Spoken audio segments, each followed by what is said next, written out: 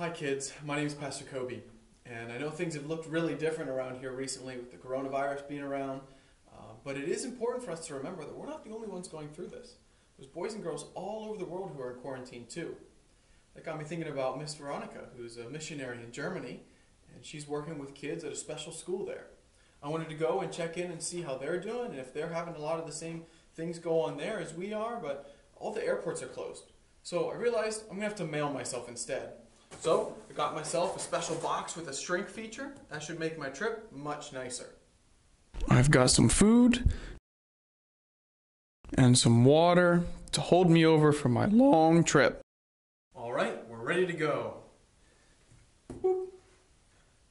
Ah! All right, Mike, drop me in the mail.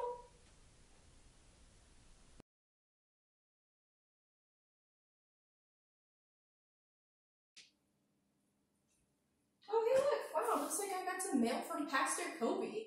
I wonder what he have sent me right now. That's super nice. Um, so, what? Pastor Kobi? How did you.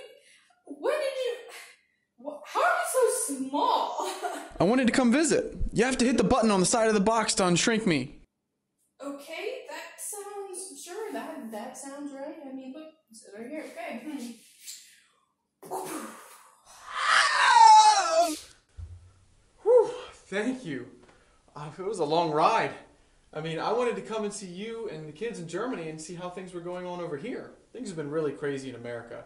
Yeah, thanks for coming all this way. Um, why don't we sit down and catch up? What do you mean things are crazy? Well, we have this thing called the coronavirus and it has canceled almost everything. We can't go to school or even church. Yeah, that. Uh, we have that here too. We can't go to church either, at least not in person. What about your job? Are people still able to work? Yeah, most people have still been able to work, at least a little bit, um, a of them from home. I've been able to do the really important parts of my job from home on my computer. Okay, I'm glad you can still work. How are the kids? Uh, actually, a lot of them went home to other countries to be with their families, but a lot of them are still here. And they're a little bit disappointed that all the fun and exciting things keep getting canceled. Yeah, our kids are pretty bummed too. They're making the best of it. They miss school and their friends and church. Yeah, our kids are at least able to do online school right now. Our teachers are still teaching. Um, even our older kids are going to be able to be back in the school now that it's May because they might have tests that they need to take. Oh, most of our kids are doing school online too. Moms and dads are also doing their very best to be homeschool teachers for the very first time. That's great. So, what are you guys doing for fun while you're separated?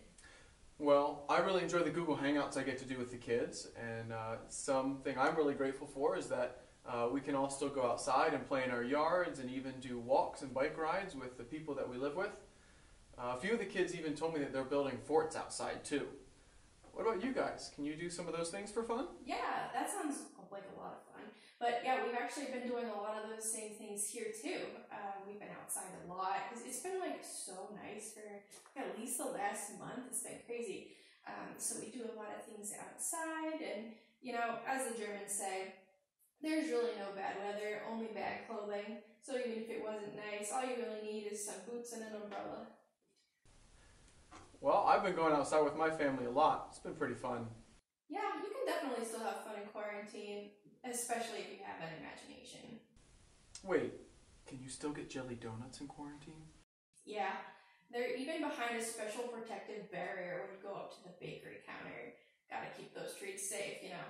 Whew, that would have been a tragedy if you couldn't get your jelly donuts in quarantine. But uh, what are some ways that you and others have been helping other people out right now? Well, the main thing that I've been doing is going to help out at one of the places where some of our students live. We've been making different recipes together, and they even let me judge a cupcake competition one night, which was pretty sweet. Um, I've also been making stuff for my friends and neighbors. I've been writing these teeny tiny little letters for people and putting them in their mailboxes with silly drawings. And it just seems like there's a lot of people that want to help each other out right now. That's so cool. I'm really glad to hear people are working together. I guess for my part, I've been working with Mike to put together silly videos for the kids and uh, doing my best to still teach them about the Bible, even though we're not together. I'm really glad to uh, have also be seeing people helping out with those who uh, have lost their jobs by buying them groceries, and uh, lots of people making masks and cheering on our medical workers. Wow, that's great. I'm glad that they're doing those things. It is, but I should really be heading back. Do you think you could teach me any German before I go? Sure. How about wash your hands? Sounds perfect. Okay, so it's wash deine Hände.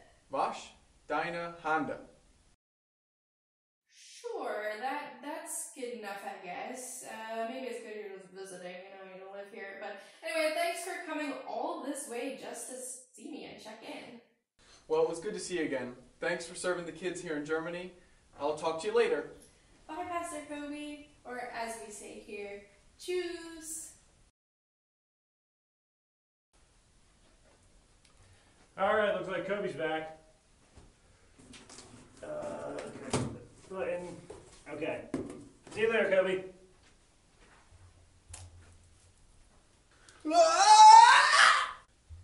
Whew, it's good to be back. Kids, I hope you enjoyed visiting Miss Veronica and hearing about how her and all the kids are doing over in Germany. I really hope you will join me in praying for not just America, but all the countries all over the world who are working together right now to fight back against coronavirus. Miss Veronica said she would love to answer any questions you guys have too.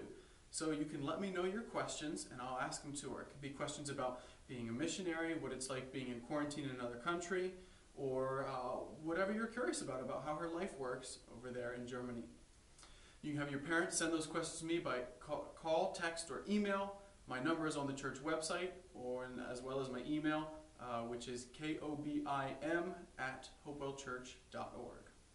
Thanks for coming along uh, to visit Miss Veronica with me, and remember, God is good. Love you guys. Miss you, and hope to see you again soon. Bye bye.